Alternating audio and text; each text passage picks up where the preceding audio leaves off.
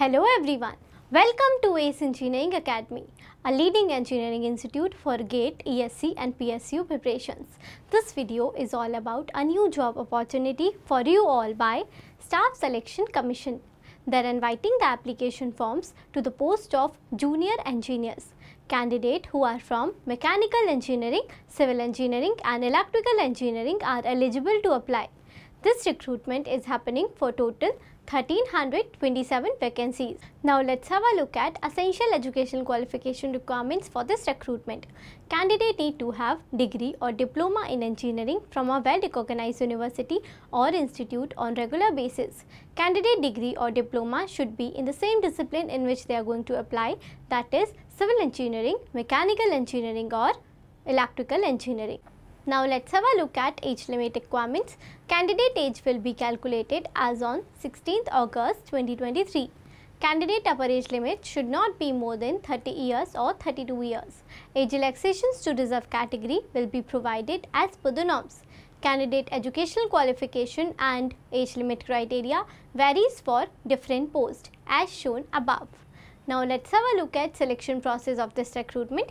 Candidate selection is entirely based on computer based examination. Now let's talk about examination pattern of computer based test. In computer based examination there will be two papers that is paper 1 and paper 2. There is the deduction of one third marks for each wrong attempt answer in paper 1 and paper 2.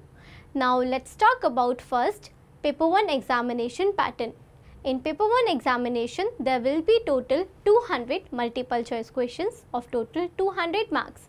Time duration to attempt the exam will be 2 hours.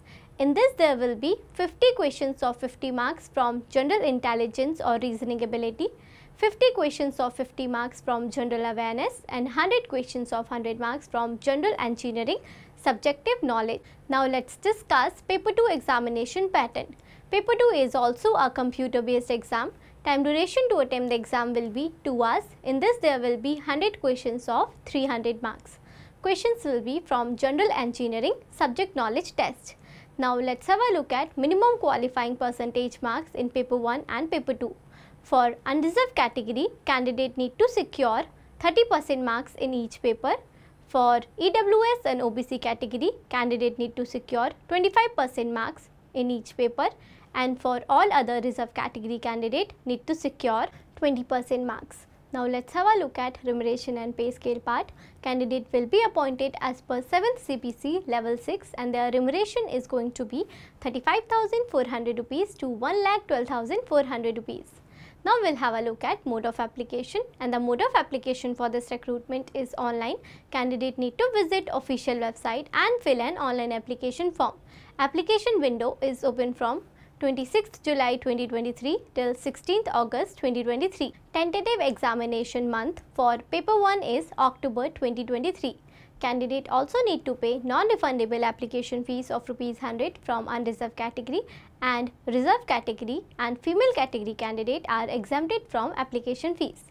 That's all about important highlights given in this recruitment notification. If you want to view detailed advertisement, the link is available in the description box. If you like this video, do hit the like button and for regular update on latest job notifications and other informative videos like this, do not forget to subscribe our channel and press the bell icon. Thanks for watching. Keep learning, keep watching, keep smiling.